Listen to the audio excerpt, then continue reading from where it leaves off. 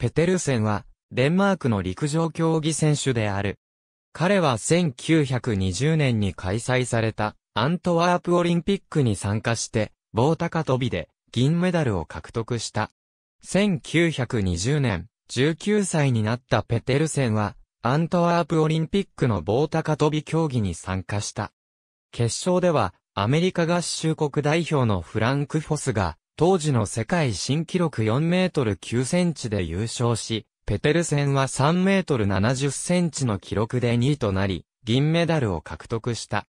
ペテルセンは4年後のパリオリンピックにも同じく棒高跳び競技に出場したが、この時は銅メダルを獲得したアメリカ合衆国代表のジェームズ・ブルッカートの順位決定戦に敗れて4位に終わっている。